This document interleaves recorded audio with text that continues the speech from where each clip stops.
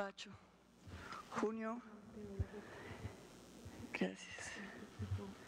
Junio para aquellos que somos católicos es, Diana, tú lo sabes, el mes del Espíritu Santo, del Sagrado Corazón. Y hoy es 23, un 23, ustedes me secuestraron y un 23 murió mi papá. La Comisión de la Verdad nos ha solicitado participar en este acto de reconocimiento dedicado al crimen del secuestro para darnos la oportunidad a quienes fuimos secuestrados de oír a los exmiembros de las FARC expresar públicamente ante nosotros sus víctimas y ante la nación los sentimientos que los embargan al asumir el dolor irreparable que han causado. Este ejercicio que sin duda nos ha exigido valor a cada uno, nos identifica y nos restablece en la tradición de generosidad de la familia colombiana. No es una formalidad jurídica o política relacionada con el acuerdo de paz, sino ante todo un ejercicio espiritual que nos obliga a mirarnos desde adentro para tomar posición ante el mundo que anticipamos para nuestros hijos y que soñamos como meta para Colombia. Esto es lo que ha entendido el padre Francisco de Rú, presidente de la Comisión de la Verdad, quien sin descanso ha intentado reparar la trama rota de nuestro sentir colectivo y quien nos cogió de la mano para prepararnos a oír a quienes fueron nuestros verdugos, con la esperanza de que al hacerlo pudiéramos acceder a una nueva humanidad, dignificando nuestro sufrimiento al mirarlo a través del lente de quienes nos lo produjeron. Por ello, quiero agradecerle. También quiero agradecerles a los comisionados y a cada uno de los miembros de la Comisión de la Verdad quienes hicieron este evento posible. Aquí estamos los que estamos, cargando nuestras heridas y nuestros muertos, con la dificultad de mirarnos los unos a los otros a la cara.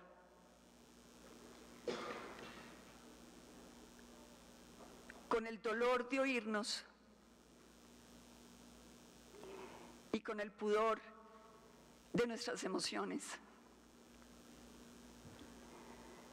pero con la decisión compartida de contribuir a romper el círculo vicioso de la violencia cuando vemos que intenta reaparecer en las dramáticas confrontaciones que vienen enlutando al país. El valor de este encuentro reside entonces en que quienes actuaron como señores de la guerra y quienes los padecimos, todos aquellos que estuvimos en el ojo del huracán de la guerra, nos levantamos al unísono ante Colombia para decirle al país que la guerra es un fracaso, que solo ha servido para que nada cambie y para seguir postergando el futuro de nuestra juventud. Yo nunca hubiera imaginado en lo profundo de mi cautiverio que un día tendría la posibilidad de un diálogo humano con mis antiguos captores. Lo que quiero transmitirle al país en esta situación tan difícil que atravesamos es que la violencia nunca ha sido ni será la solución.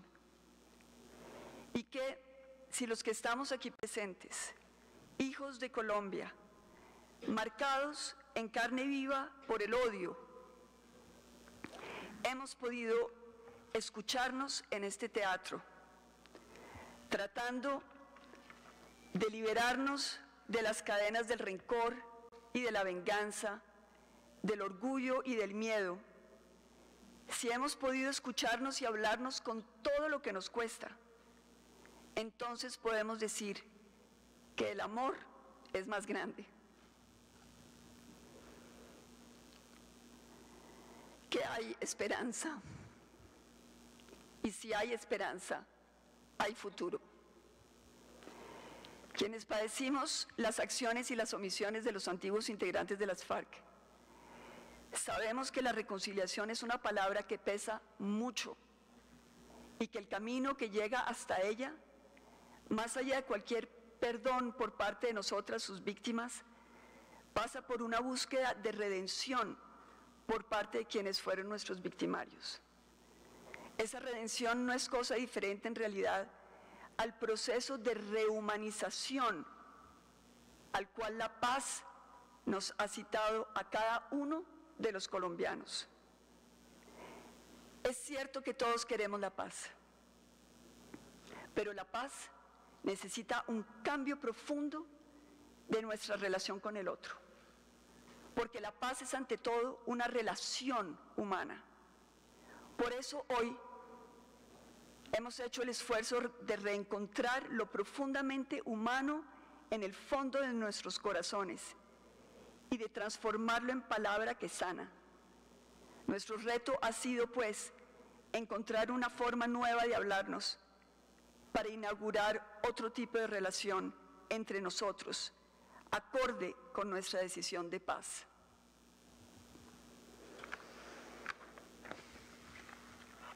Oí con emoción el relato de mis hermanos de dolor. Los oí llorar, los vi llorar y he llorado con ellos.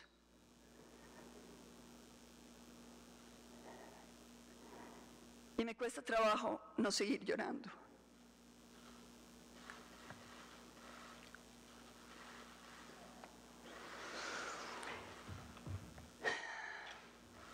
Pero debo confesarles que me sorprende que nosotros de este lado del escenario estemos todos llorando y que del otro lado no haya habido una sola lágrima.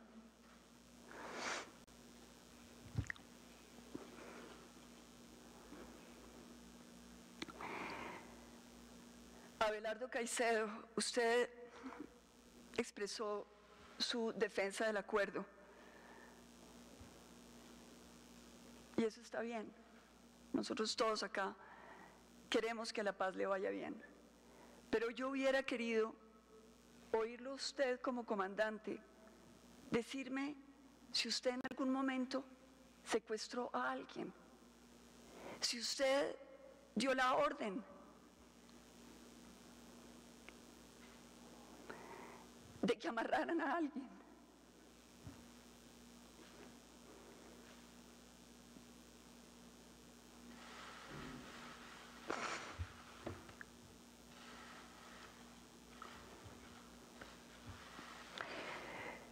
Trujillo, usted dijo que teníamos que mirar atrás y que usted mirara, miraba atrás con orgullo su lucha por los pobres y con vergüenza las conductas que se habían tenido durante la guerra. Yo necesito que usted exprese qué siente con esa vergüenza. ¿Es una vergüenza social? Porque la sociedad colombiana le está reclamando por lo que hicieron. ¿O es la vergüenza del alma?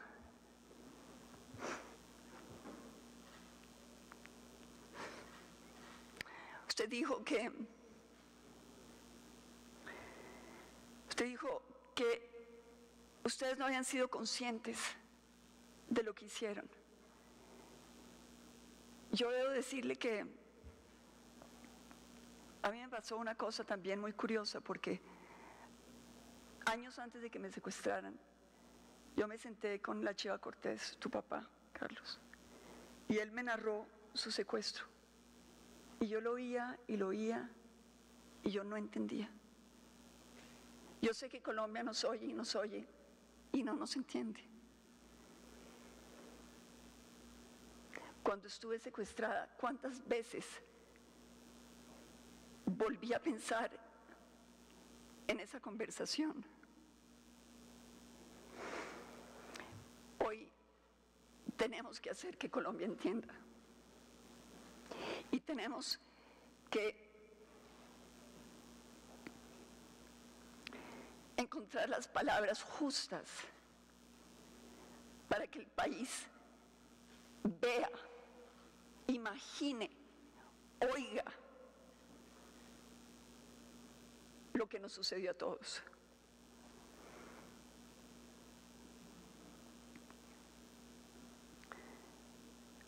Carlos Antonio Lozada, usted habló de la generosidad de las víctimas. Sí, sí hemos sido generosas las víctimas. Hemos sido generosas porque amamos a Colombia, porque nosotros no representamos el pueblo, nosotros somos el pueblo.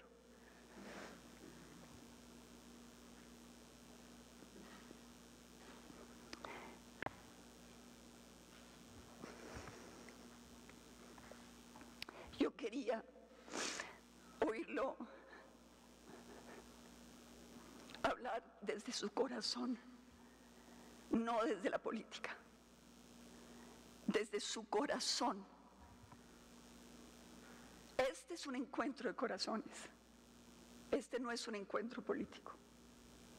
Aquí estamos seres humanos, no está el Estado.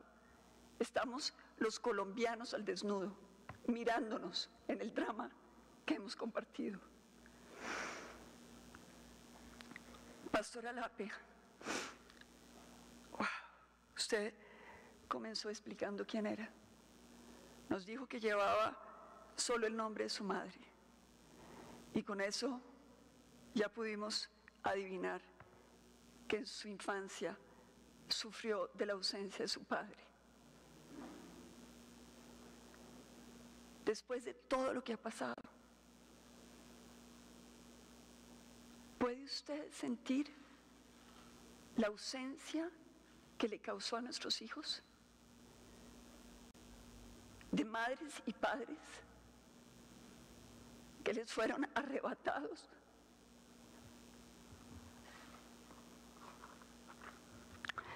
Usted dijo que Gilberto Echeverry era un aliado para la paz. Entonces eso quiere decir que usted sabía que era su par.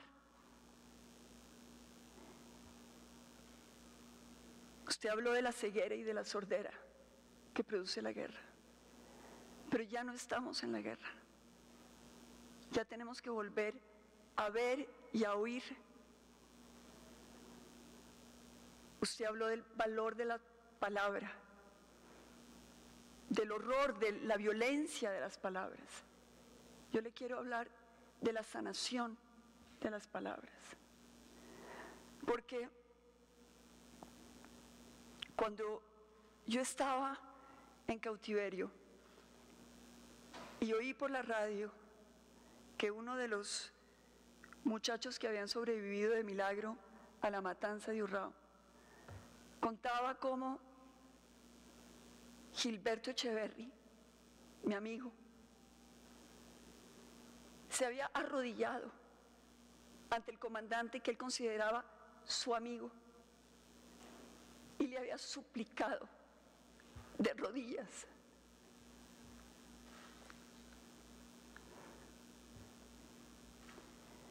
que no lo mataran. Esa imagen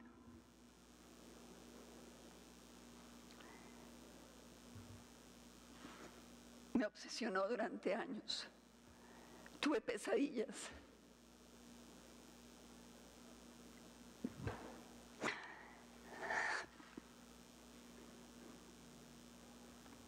Alguna vez me acuerdo que me robé un machete de uno de los guardias para poderme volar y me volé. Y a los días me recapturaron. y me castigaron. Y llegó el muchacho enfurecido a decirme, Ingrid, yo había confiado en usted, Yo había dejado ese machete ahí confiando en usted y usted me lo robó. Y yo lo miré y le dije, ¿usted confió en mí? ¿Y yo acaso puedo confiar en usted? El día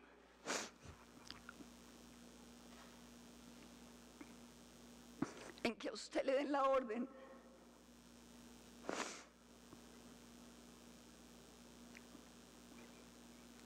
de matarme, ¿usted qué va a hacer? ¿Yo podré confiar en usted o usted me va a matar? El muchacho se fue con los ojos aguados. Y yo necesito ver los ojos aguados de ustedes.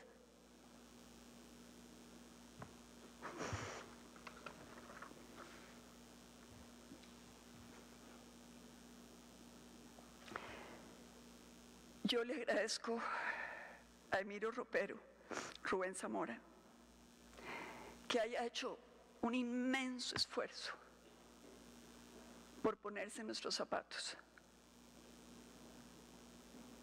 por tratar de imaginar lo que puede ser el sufrimiento del que está encadenado y secuestrado. Porque yo sé que eso puede ser abstracto para aún nuestros verdugos. Yo le agradezco que haya tratado de entender lo que puede ser el horror para una familia de seguir buscando el cuerpo de su papá o de su mamá. Mi papá murió al mes de mi secuestro. Confieso que todavía no, no he podido hacer el duelo y probablemente no lo haré nunca. Pero siento una inmensa tranquilidad de poder ir a la cripta, aquí en Cristo Rey, donde está enterrado. Los seres humanos vivimos de lo físico y de lo espiritual. Y nosotros necesitamos sentir que a pesar de la muerte podemos honorar a las personas que hemos amado, que podemos ir a decirles que estamos ahí, que las amamos. Los huesos son probablemente solo huesos, pero para quien ama es lo que queda de la persona amada. Es un deber de la nación encontrar a los abuelitos Angulo.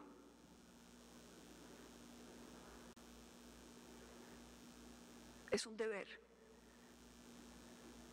Y no puede haber postergación.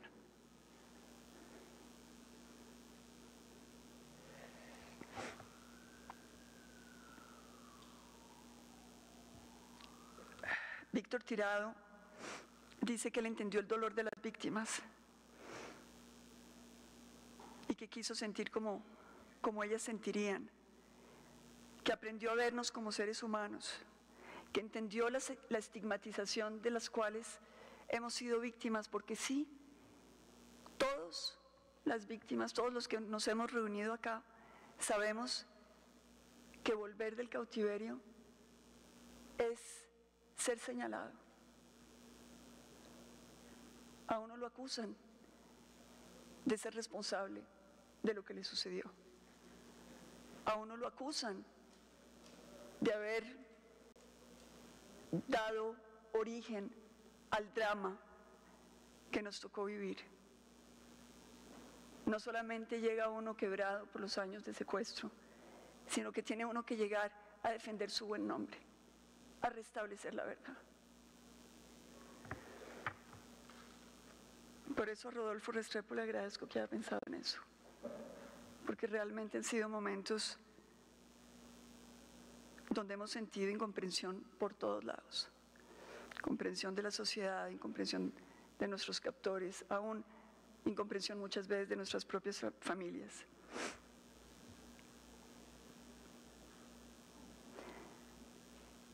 Más allá de esa reflexión, que si se quiere es un esfuerzo de voluntad, pero donde todavía no está la fuerza del alma, yo debo repetirles que mientras que nuestra pesadilla sea solamente nuestra, mientras que ustedes no se despierten por la noche con las mismas pesadillas que nosotros, estaríamos todavía en la distancia de no poder explicarle a Colombia lo que realmente sucedió. Volver a ser humanos es llorar juntos. Algún día tendremos que llorar juntos por el sufrimiento de ustedes, el de su vida, por el sufrimiento que nos causaron a nosotros, a nuestros hijos, a nuestras familias y por el sufrimiento de Colombia, que lo vemos hoy en los muchachos que están en las calles porque tienen hambre, porque no tienen trabajo y porque los señalan de terroristas, porque siendo pobres y jóvenes los asimilan a combatientes de las FARC. Y esa es una responsabilidad que ustedes también tienen.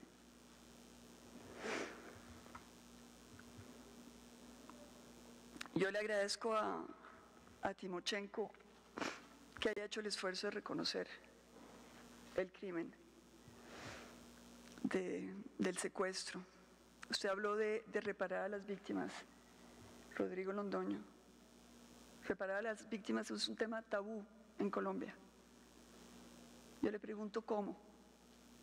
¿Cómo va a reparar a las víctimas? ¿Dónde están los recursos del narcotráfico? Que ustedes acumularon durante los años de guerra, porque esos recursos son los que tienen que ir a reparar a las víctimas. Usted oyó a Ángela Cordón lo que le sucedió a su familia, cómo quedaron en la pobreza y encima de todo tenían que seguir pagando impuestos. Esa historia multiplíquela por millones. Esa es la historia de Colombia. Esa es la historia donde tenemos que reparar. El Estado no puede reparar. Ustedes tienen que reparar. Y tenemos que buscar una manera de hacerlo. Han pasado muchos años, 13 para ser exacta, desde la última vez que estuve en presencia de, algún miembro de las FARC. A pesar del tiempo transcurrido, las emociones, ustedes lo han visto, siguen muy fuertes tan fuertes como las imágenes que quedaron grabadas en mi memoria. Lo hemos visto hoy, fuimos todos, ellos y nosotros, sacrificados en el altar de una ideología que pretendía detentar el secreto del bienestar humano. Fuimos todos, ellos y nosotros, deformados por la deshumanización a la que esta ideologización dio origen. A nombre del pueblo, las FARC se convirtieron en los verdugos del pueblo, convencidos de que su causa era justa y los autorizaba cualquier criminalidad. No fueron los únicos verdugos, es verdad. Otros, con otras ideologías y a nombre del mismo pueblo, hicieron lo propio, inundando a Colombia en un baño de sangre. A pesar de toda nuestra locura colectiva, Hoy hemos podido ponernos de acuerdo por primera vez en una cosa, que el fin no justifica los medios. Hemos también comprendido los peligros de mirar al mundo a través del lente reduccionista de esas ideologías. Estas nos llevan a asumir posiciones fundamentalistas que nos aíslan y nos impiden ampliar nuestro análisis al desechar de plano otros puntos de vista. Ser conscientes de estas deformaciones del análisis es ya de hecho un instrumento invaluable para abrir nuestras mentes y sobre todo nuestros corazones a los principios básicos de la fraternidad, de la fraternidad, la fraternidad sin la cual no hay igualdad, fraternidad sin la cual no hay libertad, fraternidad sin la, sin la cual tampoco hay paz. Que nunca más podamos pensar en Colombia que una idea vale más que una vida humana. Por eso estoy agradecida con esta patria que es nuestra, de ustedes y de nosotros, nuestra, nuestra Colombia, quien en su magnanimidad y en su grandeza, al acordar un pacto de paz ciertamente imperfecto e incompleto, nos entregó lo que es ahora el único instrumento que tenemos para salir de la barbarie. No todo está olvidado. Esto no es un ejercicio para hacer borrón y cuenta nueva o tabula rasa, sino para recordar.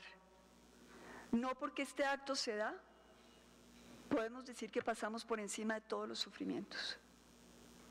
Del de Andrés Felipe Pérez, el niño que murió de cáncer esperando a su papá Norberto Pérez porque ustedes, comandantes de las FARC en ese momento, no quisieron liberarlo a pesar del clamor nacional y luego lo ejecutaron cuando intentó escapar para ver a su hijo.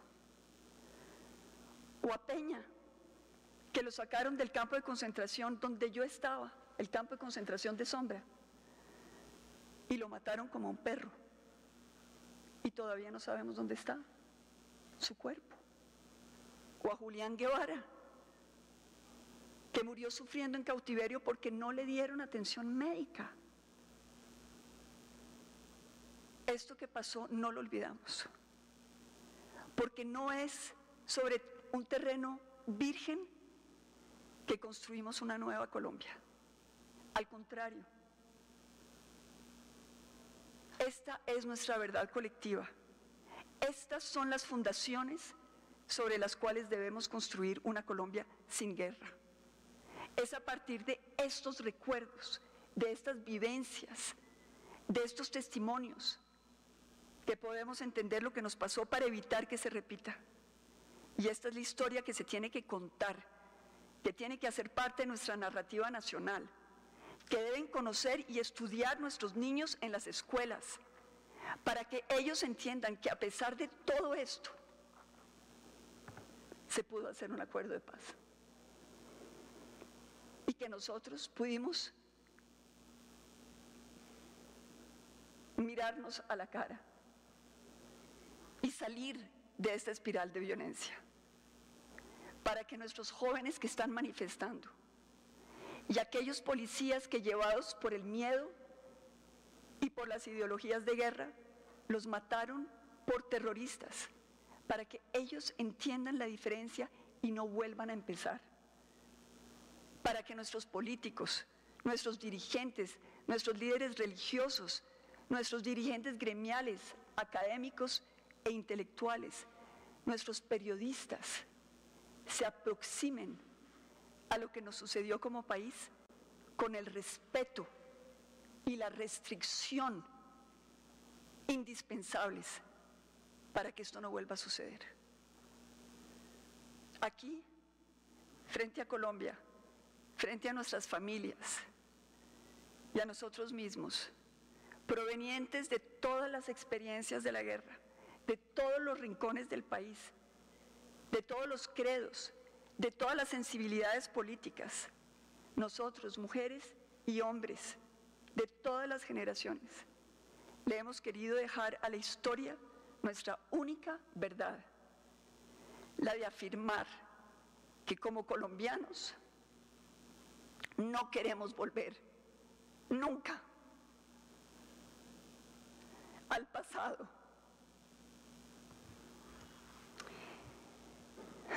Y que estamos listos para enmendar y construir hombro a hombro un nuevo futuro para todos.